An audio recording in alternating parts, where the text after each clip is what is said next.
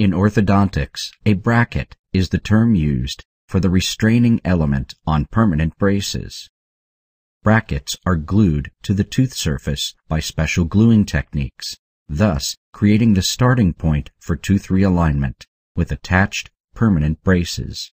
In this film, you can see the gluing procedure, which is pain-free.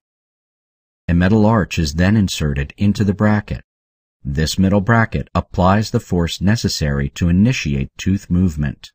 There are different bracket variations. These are characterized by materials, metal, gold, plastic, ceramic brackets, or method of attachment, Damon lingual brackets. Lingual brackets are attached to the back of the tooth. These brackets work well for patients who place a high value on aesthetics. Inappropriate gluing techniques or insufficient dental hygiene while the bracket is glued to the tooth can lead to permanent decalcification spots on the tooth surface. For this reason, good dental hygiene is very important. The use of a dental water jet toothbrush is highly recommended.